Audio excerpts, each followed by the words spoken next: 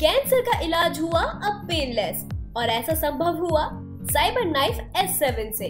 देश की पहली साइबर नाइफ S7 मेरठ के मवाना रोड स्थित वालंटिस कैंसर हॉस्पिटल में मरीजों की सुविधा के लिए स्थापित की गई है। मेरठ के सदर थाना क्षेत्र में रियल एस्टेट कारोबारी राजू सिंगल के घर, दिन दहाड़े हुई लाखों की चोरी का पुलिस ने पर्दाफाश कर एक अभियुक्त को गिरफ़्तार कर लिया है, जबकि उसके दो साथी अभी फरार हैं।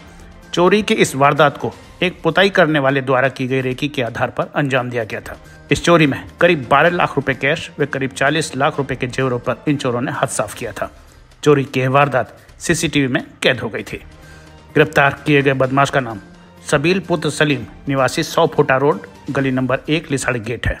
फ़िलहाल वह शौकीन कॉलोनी में रह रहा है। सबील के खिलाफ सात मुकदमे दर्ज हैं। इस वारदात में सुएब उर्फ़ सुहेल, मदीना कॉलोनी व सुहेल निवासी ट्यूबवेल लिसाड़ी गेट शामिल हैं। घटना का खुलासा होने पर कारोबारी ने एसपी सिटी समेत बाकी टीम को बुके देकर सम्मानित भी किया। आज एसपी सिटी आयुष विक्रम सिंह ने सबील को मीडिया के समक्ष पेश करते हुए यह जानकारी दी। देखिए, जैसा कि आपको ज्ञात होगा, सत्ताईस सितंबर को थाना सदर बाज़ार के वेस्टर्न रोड पर एक व्यापारी के घर में चोरी घटना पारित हुई। इस घटना के अनावरण के लिए सीओ कैंट के निर्देशन में थाना सदर बाज़ार सर्विलांस और एफओजी की टीम लगाई गई थी। आज इस घटना का सफल अनावरण कर लिया गया है। इस घटना में जो अभियुक्त था सभी, ये गिरफ़्तार कर लिया गया है और पूछताछ के दौरान उसने बताया कि ये टोटल तीन लोग हैं। सुहेल है एक शोएब है और ये सबील तीन लोग हैं। जो सुहेल है, सुहेल पुत्र गुड्डू है, ये एक रगाई पुताई का काम करता है।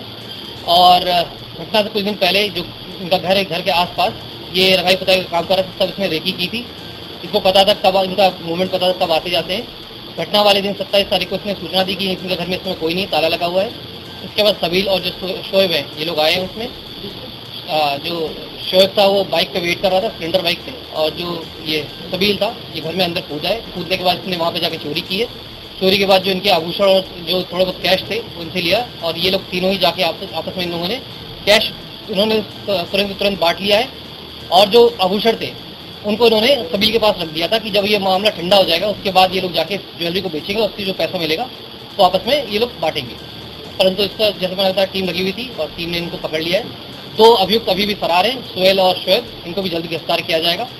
जो इसमें चोरी चोरी हुए आभूषण थे, वो सब प्रतिशत मिल गए हैं और इनको पकड़ने के लिए अभी टीमें लगाई गई, इनको जल्द गिरफ़्तार किया जाएगा।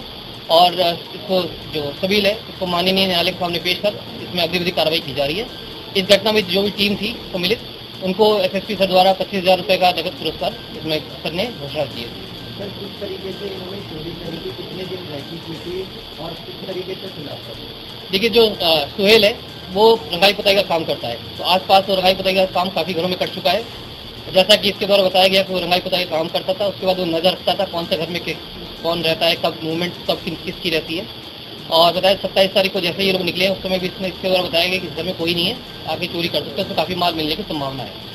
उसी के आधार पर ये लोग आए थे और चोरी की सर क्या पहले भी इन लोगों ने ऐसी देखिए जो तवील उसके ऊपर ये सातवीं घटना की है ये पहले से भी बहुत शातिर तरह का चोर है पहले भी चोरी में जेल जा चुका है।